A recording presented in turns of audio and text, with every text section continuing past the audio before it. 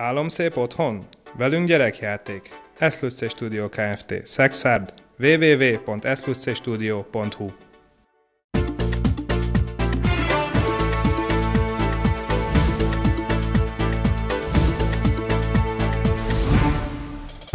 Két milliárdból fejlesztenek, rendkívüli ülést tartott Szexárd képviselőtestülete. Újabb elem épült meg, nagymányokon tovább folyik az ipari övezet fejlesztése. Meg akarták ölni a családfőt, az apa a bíróságon azt mondta, hogy ennek ellenére is szereti a lányát és a volt feleségét. Állatkínzás, felfüggesztett börtönt kér az ügyész a kutyáját nyakon szúró férfira.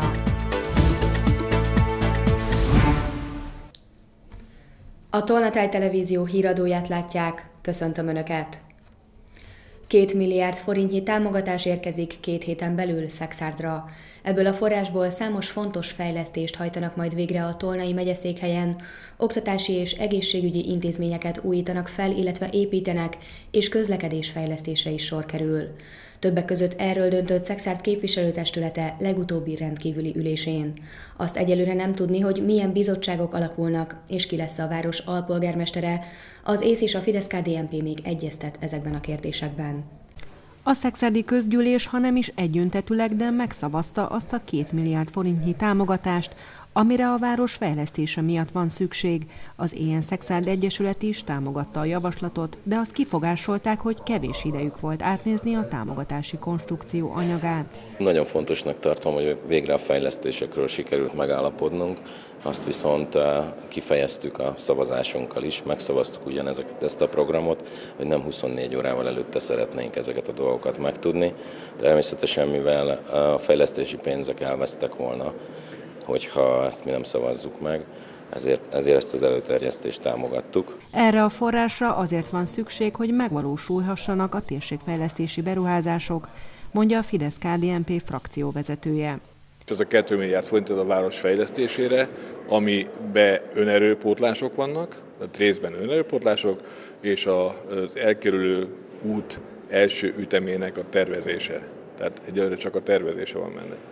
Ebből a támogatásból többek között korszerűsítik a Baka István általános iskolát és a DNS Valéria általános iskolát, Szőlőhegyen pedig óvodabővítés, bölcsödefejlesztés valósulhat majd meg, mondja Ácsezső Szexál polgármestere hozzátéve, ebből új orvosi rendelők is létrejöhetnek.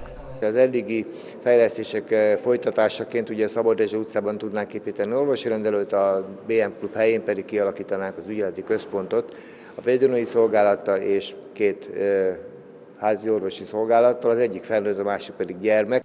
A két milliárd forintnyi támogatás még ebben a hónapban megérkezik a Szexádi önkormányzat számlájára. Aztán egyelőre nem tudni, hogy milyen bizottságok alakulnak, és ki lesz a város alpolgármestere. Az Éjjel Szexárd Egyesület és a Fidesz KDNP még egyeztet ezekben a kérdésekben. Jelentős hitelkiáramlást eredményeztek a babaváró hitelek idén a harmadik negyedévben, közölte a Magyar Nemzeti Bank szerdán. Kiugró mértékben 484 milliárd forinttal bővült a háztartási hitelállomány a harmadik negyedévben, amely éves alapon majdnem 14 százalékos növekedés. Ez a legmagasabb érték az uniós tagállamok körében. A hitelintézetek az idei év harmadik negyedévében összesen közel 800 milliárd forint értékben kötöttek hitelszerződéseket a háztartásokkal. A kibocsátás legnagyobb részét 277 milliárd forintot a babaváró hitelek tették ki. Több mint egy évtizede kezdődött az az iparterület fejlesztési program, melynek eredményeként ma közel 600 ember dolgozik nagymányokon. A program tovább folytatódik, ennek egyik eleme a most átadott út, mely a település és területfejlesztési operatív program 80 millió forintos támogatásából épült meg. Örülök annak, hogy ez a 10 éves város azokat a célokat, amiket ezzel a tíz évvel megfogalmazott, ez, azokat a célokat nagyjából tudta teljesíteni. A Ezekkel a gondolatokkal köszöntötte Potápi Árpád János nemzetpolitikáért felelős államtitkár, a térség országgyűlési képviselője az ünnepségre egybegyűlteket. Kiemelte mindez, amit nagymányokon elértek, azt bizonyítja, hogy bátorsággal még a lehetetlennek tűnő tervek is megvalósíthatóak csak a fejlő, fejlesztésben lehet mindig gondolkozni, és az előre menekülésbe, és így akkor mindig van jövőnk. A most elnyert projekt a vállalkozói környezet és az üzleti infrastruktúra bővítése, mely az iparterület elérhetőségét és feltárását segíti. Orbán Attila megyei közgyűlés alelnöke azt emelte ki, Tolna megye élen jár a fejlesztések területén, országos viszonylatban is. A modern korban van, van egy gyorsasági verseny is és én azt hiszem, hogy ilyen szempontból ők szerencsések, hogy eh, hamar felébredtek, eh, kezdeményeztek és már elindultak. Eh, biztos, hogy előnybe lesznek ahhoz, azokhoz képest, akik majd ezután fognak valahol ipari parkot létesíteni. A megbízhatóság és az eredmények hozták, hogy már nem kérdés, nagymányok gazdaságilag meghatározó szereplő lesz a térségben, mondta Karbéla polgármester. Két dolog kellett hozzá, hit, hogy ezt meg lehet csinálni. A másik pedig, hogy amit ígértünk a betelepő vállalkozásoknak, azt maradéktalan teljesítettük.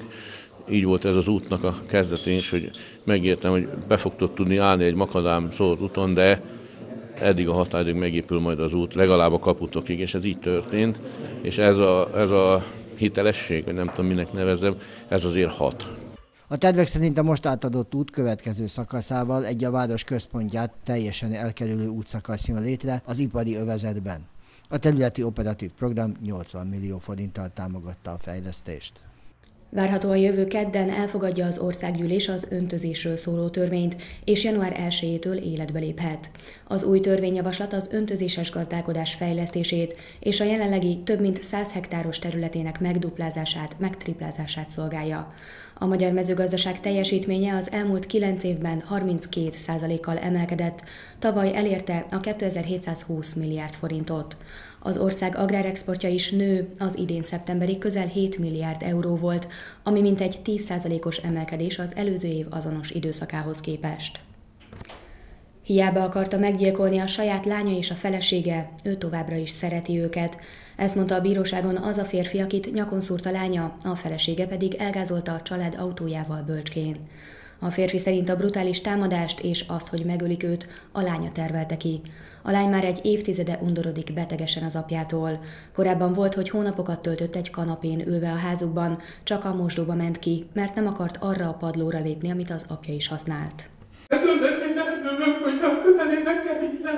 Hangosan zokogott a tárgyalóteremben a lány, akit azzal vádolnak, hogy az anyjával együtt meg akarta ölni a saját apját.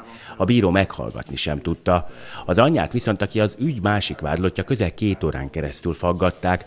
A nő arról beszélt, hogy a lánya több mint tíz éve betegesen írtozott a saját apjától, hogy mi miatt az nem derült ki. A lány apjához való beteges viszonya olyan mértéket öltött, hogy például a fiatal nő csak azért fújta le rovarírtóval a házba bejutó legyeket, mert azok hozzáérhettek az apja bőréhez is.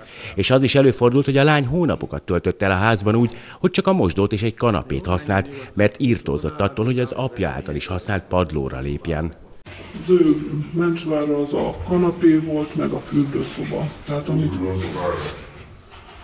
Az az emeleten, de oda nem, mert ugye oda lépcsőn minden, tehát az már bonyolultabb, és akkor ő a nappaliban a kanapén volt szinte az egész nyárban. A két nő áthívta magukhoz a családfőt, aki egy ideje már nem élt velük a lányával megromlott viszonya miatt. Azt mondták neki békülni akarnak, és süteményt is sütöttek. A feleség ezért befogta a férfi szemét, hogy ajándékként adják át az édességet. A lány viszont ekkor egy késsel nyakon szúrta az apját, majd a szemébe darázsírtót fújt. A férfi kimenekült a házból, de a felesége utána ment a család autójával és elgázolta őt. A brutálisan megtámadott családfő most azt mondta, hogy a lánya évek óta küzd mentális betegséggel, és hogy teljesen behálózta a saját anyját. Ez, ez így volt, ezt mindenki látta a családban, a távolabb lakó rokonok is, hogy bizony a Marcsi gyötri, kínozza az anyját, és uralkodik rajta, agresszíven, követelőzve áll hozzá az anyjához. Tehát az anyja áldozat volt ezekben az esetekben. A megszúrt és elgázolt családapa biztos benne, hogy a lánya tervelte ki a meggyilkolását. Szerintem miután végeztek volna vele, azt mondták volna a rendőröknek, hogy önvédelemből tették. Ő ennek ellenére most mégis azt mondta, hogy még mindig szereti a lányt és a volt feleségét. Én ugyanúgy szeretem a nejemet, és szeretem a lányomat. Becsülöm az eszét, az okosságát, kitartását. De én azt látom, hogy nekünk ilyen közös életünk nem lesz. A bíró több tanút is meghallgatott volna, ám közülük voltak, akikre most nem került sor, ezért a következő tárgyaláson újra tanúkat hallgatnak meg. Az ítélet hirdetésig így még legalább két tárgyalás lesz, ugyanis több szakértő is dolgozott az ügyön. Saját lányát és unokáját rabolta ki egy férfi pálfán. A nő egy pékséget működtetett a férjével együtt, ami korábban a rablással gyanúsított édesapjáé volt. Abban viszont nem tudtak megegyezni, hogy kivegye át a heti bevételt.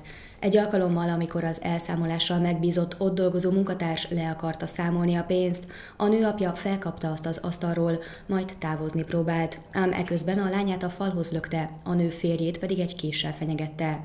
A férfi végül nem tudott elmenni a több mint fél millió forint bevétellel, mert időközben a rendőrök is a helyszínre értek. A szexárdi törvényszék megváltoztatta a Paksi járásbíróság ítéletét a bűncselekmény minősítése kérdésében. A vádlottat bűnösnek mondta ki rablás büntetének kísérlete helyett rablás büntettében, azonban a büntetést változatlanul hagyta, így a vádlottat a bíróság másfél év börtönre ítélte, melynek végrehajtását három évi próbaidőre felfüggesztette. Az ítélet jogerős. Nyakon szúrta, majd órákon át hagyta szenvedni a német juhászát egy férfi nagymányokon. Az állat még a szakszerű orvosi ellátás ellenére sem érte túl a kegyetlen támadást. Az ügyben most emelt vádat az ügyészség. Óriási alvatvértócsa jelezte, hogy itt küzdött az életért a nyakon szúrt német juhász. Az állatot a saját 65 éves gazdája támadta meg egy 11 centi hosszú pengéjükéssel, azért mert a kutya kiszökött az utcára. A késelés után a férfi a helyi kocsmába ment inni. Vércseppek nyomai az egész utcában, több száz métert vonszolta még magát a szenvedő és erősen vérző kutya. A szomszédok szerint az állat mindig nyugodt és barátságos volt, senki nem értette, miért szúrt a nyakon a gazdája. Az állat haláltusáját többen is látták az utcában. Itt voltak a rendőrök, tehát itt csináltak felvételeket, és hogy a fiatalember állítólag megszúrta a kutyáját. A férfi hírhet volt a környéken, volt, aki szerint korábban a saját anyját is többször megverte. Az anyját is verte, azt tudom biztosan, mert nem egyszer hallottam a lármát kint, amikor ott mentem föl, mert hát itt lakik mindjárt közepén valahol, az utca közepén lakik.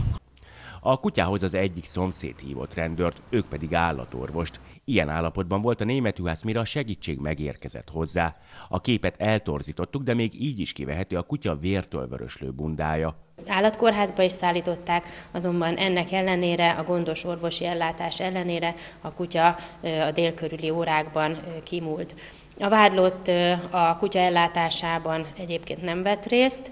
Az ügyészség szerint súlyosbító körülmény, hogy halála előtt a német juhász órákon át vérzett és szenvedett. A kutyáját meggyilkoló férfi korábban már volt büntetve, az áprilisi állatkínzás pedig próbaidő alatt követte el. Ezért vele szemben az ügyészség arra tett indítványt, hogy a próbára bocsátott, bocsátással érintett cselekmény miatt is járjon el a bíróság, és halmazati büntetésül végrehajtásában felfüggesztett börtönbüntetést szabjon ki vele szemben. Emellett pártfogó kirendelését is indítványozta az ügyészség. A férfi a kihallgatásokon már azt mondta megbánta tettét. Az ügyben hamarosan megtartják a bírósági előkészítő ülést. Utolsó negyedéves tájékoztatóját hallgatta meg a TEIT az RHK Kft. vezetőségétől. A 16 tag település teljes körű információt kapott az RHK Kft. összes fiók telepén történt idei munkálatokról, fejlesztésekről és a jövő terveiről. A radioaktív hulladékfeldolgozó és tárolóban egy nemzetközi felülvizsgálatnak köszönhetően egy biztonságnövelő program keretében úgy határoztak, az ott lévő hulladékokat kitermelik, újra kompaktálják, majd elhelyezik ismételten a tárolóban. Bátalpátiban a kis és közepes hulladékok elhelyezése történik. A föld alatti tárolókban az egyes kamra telített, a kettes kamrára várják a hatóság engedélyét, miközben a hármas kamra technológiai rendszerének kiépítése megkezdődött, a szerződések előkészítése zajlik. Bodán továbbra is folynak a kutatások. A cél egy olyan terület kijelölése, amely egy esetleges mély geológiai tároló kialakítására alkalmas, így a nagy aktivitású radioaktív hulladékok végleges elhelyezése megvalósulhatna. Bara László a kiégett kazetták átmeneti tárolójáról adott összefoglaló képet. Társulás elnöke is összefoglalta a TEIT 2019-es mozgalmas évét. A társulásunk is részt vett Pécsen az Atomeco 2019 rendezvényen, ahol megújítottuk az együttműködési megállapodásunkat az orosz partnerrel, valamint Gáncs István alelnök úr egy előadást tartott egy lakossági tájékoztatásról a társulásunk nevében. A TEIT fontosnak tartja azokat a lehetőségeket, ahol tájékoztatást kaphatnak a nukleáris létesítményekről. Így aztán nekünk is ugye az írott és a médi, az írott sajtóban és a média felületeken korrektan tudjuk tájékoztatni a lakosságot. Nagyon fontosnak tartjuk, hiszen az atomerőmű mellett természetesen egy nagy aktivitású átmeneti tárolóról beszélünk, ami fölfelszíni tároló, de nyilván ezek olyan dolgok, amiről a lakosság nagy része tud, de van olyan mindig, amit folyamatosan kell ismételni. Tehát az, a tejtnek nagyon fontos az, hogy a kiégett fűtőanyagok, kazettákat hol tárolják, hogyan állnak ezek a, a tárolási mechanizmusok, mechanizmusok, milyen fejlesztésekről van szó, és ha éppen nem is történik aktuálisan változás, akkor is legalább erről kell tájékoztatni a lakosokat. Regionális híreink következnek.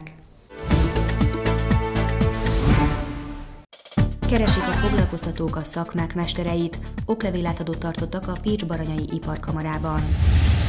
Sokrétű képzést kínálnak, nyílt napot tartott a Kaposvári Egyetem gazdaságtudományi kara. Két többszörösen büntetett előéletű férfi csempészet kábítószert, másodfokon tárgyalták ügyüket.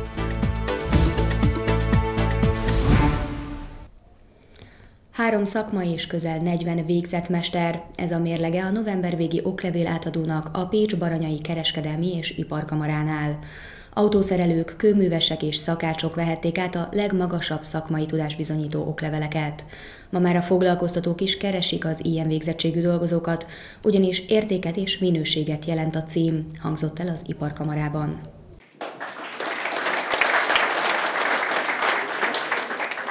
Átvette mesteroklevelét a Pécs Baranyai Kereskedelmi és Iparkamarában Boda Benjamin autószerelő november utolsó péntekén.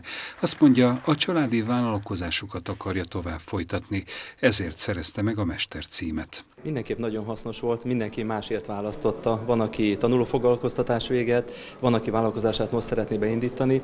Én azért választottam, mert édesapám 1979-ben hozott létre egy autovillamosági vállalkozást, és ő már nyugdíjban van, és hogy a szakmai felügyeletet én tudjam tovább csinálni, mindenképp ezért fontos volt számomra ez a mesterlevél de nem csak autószerelőket fogadtak mesterré az iparkamarában. Kőművesek is voltak az ünnepeltek között. Kő Jánosnak gyerekkori álma teljesült az oklevél megszerzésével. Láttam ott a mesterjelölteket bejönni az iskolába dolgozni, és számomra már akkor megfogalmazódott, hogy egyszer, egyszer én is szeretnék egy mester lenni, tehát a szakmámnak a mestere, mert én úgy gondolom, hogy ez, ez, ez nekem a csúcs. Tehát ez a, ez a Ennél többet nem szeretnék elérni, tehát ezt mindenképpen szerettem volna, és hát fantasztikus most így itt állni ezután a fél év után. Sokat kellett tanulni, de megérte Kő János szerint, akik köszönetet mondott a családjának, amiért támogatták a tanfolyam alatt. Kő János. Összesen 38 mesteroklevelet adtak át. Az autószerelők és a kőművesek mellett még szakácsok vehették át a sikeres vizsgájuk után kiérdemelt elismerést. Az iparkamara alelnöke szerint a foglalkoztatók is komolyan veszik most már a mester címet. A vállalkozások már másként állnak a mesterekhez, mert nekik másfajta ember kell, akire számíthat, akibe bízhat, ugye? és aki olyan munkát végez, hogy a garanciát, a minőséget, a szavatosságot, ugye, mert a cégét képviseli. Ahogy formálódnak át a cég gondolkodók, úgy megjelenik ez az emberekbe is, a munkaerőbe is, és ez a jó. Profitálnak belőle a cégek, már kezdenek anyagilag is, nem csak erkölcsileg ebbe befektetni. Két éve, amikor a szakképzésben bevezették, hogy csak mesterokleveles gyakorlati oktatók lehetnek, akkor főleg ezért jöttek a szakemberek, mondja Várszegi Gyula. Ma már a mester cím egy olyan tudást, minőséget jelent, amit értékelnek a cégek. Sokrétű és komplex képzést kínál a Kaposvári Egyetem gazdaságtudományi kara. A nyílt napon nem csak a különböző szakokkal, hanem az ösztöndíj lehetőségekkel és a kampusszal is megismerkedhettek az érdeklődők.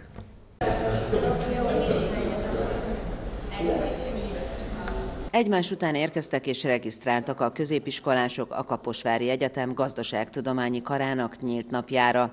Voltak, akik már határozott elképzeléssel érkeztek a tájékoztatóra. A Kaposvári Táncsis Mihály Gimnáziumban tanulok, és a kereskedelem és marketing szak érdekel, és azért jöttem. A kar az idei évben kicsit változtatott a felvételi tájékoztatóján, megpróbálták egy játékosabbá, érdekesebbé tenni a délelőttöt, amelyben bemutatták az egyetemet, a kart, szakmákat és a szakokat is.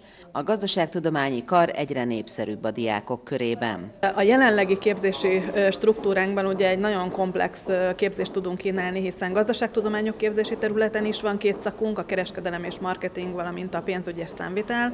Az agrárképzési területen a vidékfejlesztési agrármérnök szakot tudjuk kínálni, illetve a társadalomtudományokhoz tartozó képzésünk a nemzetközi tanulmányok szak. A Kaposvári Egyetem gazdaságtudományi karán jelenleg 580-an tanulnak. Az előzetes adatok szerint az idén is 180-an adják be felvételi kérelmüket a karra, amely az oktatói minősítés alapján a negyedik legjobb az országban. Több mint egy kilogramm amfetaminport hozott Belgiumból Magyarországra az a két Zala megyei férfi, akiknek ügyében Pécsen tartottak másodfokú eljárást. A vádlottak többszörösen büntetett előéletűek, a második rendű vádlottat pedig emellett visszaesőnek minősítették.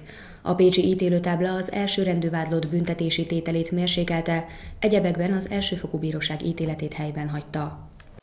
Bilincsben állt a pécsi ítélőtábla elé az a férfi, aki kábítószer birtoklásának büntetében az ügy elsőrendű vádlottja.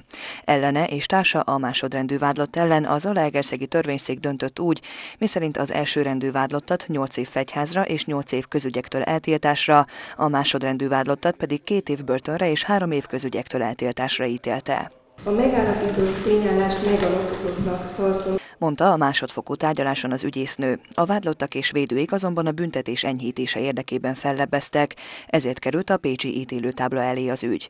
A vádirat szerint a két férfi Belgiumból Magyarországra több mint egy kilogramm amfetaminport hozott be. A törvényszék helyesen jelölte meg a büntetési tételkereteket és a középmértéket is. Elsőrendű vádlat büntetése a középmértéktől elmarad, másodrendű vádlat büntetése a középmértéket meghaladja. A középmérték egy kiinduló pont, ennél nyilván enyhébb és súlyosabb büntetés is kiszabható. A másodrendű vádlott középmértéktől súlyosabb büntetését az ügyészség szerint a férfi előélete, valamint az indokolja, hogy a bűncselekményt feltételes szabadság hatája alatt követte el. Mivel mindkét vádlott többszörösen büntetett előéletű, ezért az ügyészség az elsőfokú bíróság ítéletének helyben hagyására tett indítványt. A másodfokú bíróság a kábítószer birtoklásának büntettem Attila és társa ellen indult büntetőben az Alegerszegi Törvényszék 3B 34 per 2017 per 45 számú ítéletét, miként változtatja meg Attila elsőrendű vádlat büntetését 6 év 6 hónap szabadságvesztésre és 7 év közügyektől eltiltásra enyhíti. Egyedekben az elsőfokú bíróság ítéletét helyben hagyja. Az elsőrendű vádlott büntetésének mérséklése mellett több enyhítő körülmény miatt döntött az ítélőtábla. A másodrendű vádlott büntetési tételét helyben hagyta a bíróság, ami két év börtön és három év közügyektől eltiltás. A férfit ugyanis visszaesőnek minősítették kábítószer birtoklása előkészületének büntettében. A karácsony elképzelhetetlen ma már halas ételek nélkül. Sokan a megszokott recepteket, a halászlevet és a rántott pontyot ismerik, azonban fogasból és pisztránkból is készülhet az ünnepi menü. Az évi fogyasztáshoz képest 50-60 százalékkal is megnő a halak iránti kereslet decemberben, mondja ennek a dél-balatoni cégnek a vezetője. Legfőképpen a pontyot keresik, de nagy számban keresnek ragadozó halakat, köztük a, a harcsát, a fogast, pisztrángot, úgyhogy ezek is nagyon-nagyon felkapottak most. A karácsonyi menüsor ma már elképzelhetetlen halasfogások nélkül, nem csak azért, mert finom, hanem kímélő is. Az elkészítési mód pedig változatos lehet. Fogas és a pisztráng is úgy gondolom, hogy sütve, rántva nagyon finom elkészíteni. A, a pisztráng az, amelyik még, még esetleg füstölve egy kiváló étel tudunk belőle csinálni, ha van valakinek ilyen, ilyenre megoldása. Bár sokan a harcsára és a pontyra esküsznek karácsonykor, más halak is kerülhetnek az ünnepi asztalra. A vásárlók egy szűk rétege, olyan 10-20 százalék azért mindig próbál valami újat csempészni a karácsonyi menübe. Ez lehet az is, hogy a klasszikus mellé behoz valamilyen új ételt, de lehet olyan is, hogy teljesen más tesz az asztalra minden évben. Én azt látom, hogy keresik az exkluzívabb halakat, van, aki törpeharcsát is keres, van, aki sügeret keres, tehát egész érdekes irányba is elmennek a dolgok, de ezek az, azért nagyon ellenyésző százalékban. Az elmúlt évek tapasztalata azt mutatja, hogy a szelet helyett inkább már filét vásárolnak az ünnepi menühöz, és kevésbé keresik a szálkás halakat. Végül mutatjuk újra, hogy miről szólt a híradó. Két milliárdból fejlesztenek, rendkívüli ülést tartott Szexárd képviselőtestülete. Újabb elem épült meg, nagymányokon tovább folyik az ipari övezet fejlesztése. Meg akarták ölni a családfőt, az apa a bíróságon azt mondta, hogy ennek ellenére is szereti a lányát és a volt feleségét. Állatkínzás, felfüggesztett börtönt kér az ügyész a kutyáját nyakon szúró férfira.